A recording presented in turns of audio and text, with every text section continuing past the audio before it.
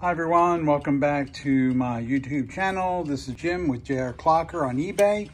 Uh, today we have a Hermle 1171 350. It's 107, uh, 114 centimeters.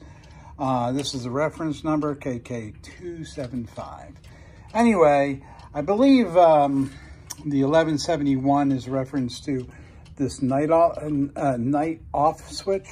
Think it won't, I don't know, I don't know how it actually works. Um, but anyway, it's new old stock.